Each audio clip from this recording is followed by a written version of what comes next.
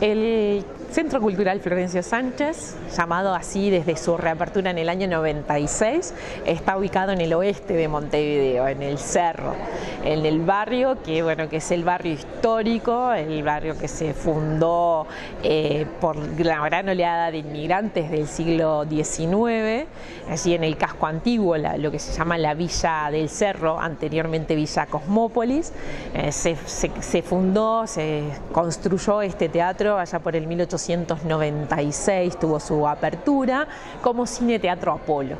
La familia Diz fue la familia que hizo esta inversión. En ese momento el barrio era un barrio muy pujante, eh, un barrio con diferentes actividades industriales de, esa primera época de, la revolución industrial, un, un, barrio donde posteriormente se fueron abriendo frigoríficos, eh, un barrio muy populoso pero a la vez un barrio obrero, muy trabajador, muy emprendedor.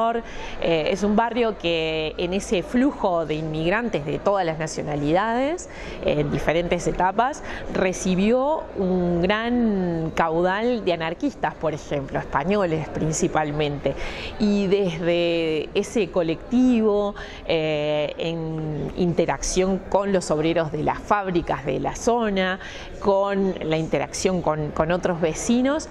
eh, se fue gestando en el barrio una identidad fundada en valores muy importantes como la generosidad, la solidaridad, el trabajo colaborativo. De allí eh, devienen para casi toda la ciudad y posteriormente para el movimiento sindical uruguayo un montón de conceptos fundamentales de lo que es la lucha obrera y la lucha de, clases. Entonces, eh, esa, esa identidad tan fuerte que caracteriza al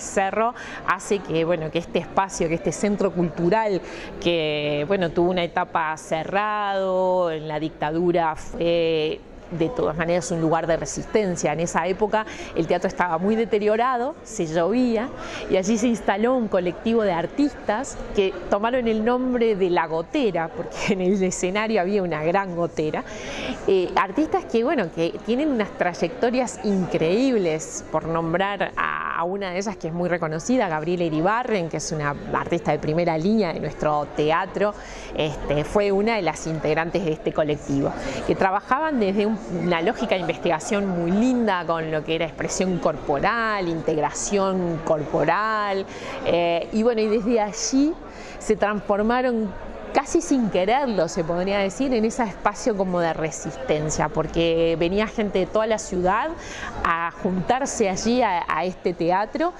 para hacer estas este, investigaciones y estos procesos, pero bueno, allí corría un espíritu de resistencia y de sostener desde el arte eh, la democracia y la lucha por, por la libertad, por las libertades.